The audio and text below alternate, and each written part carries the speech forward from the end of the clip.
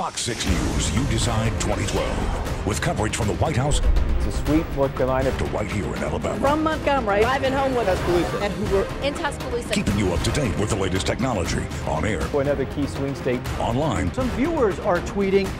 Fox 6, election coverage that's on your side.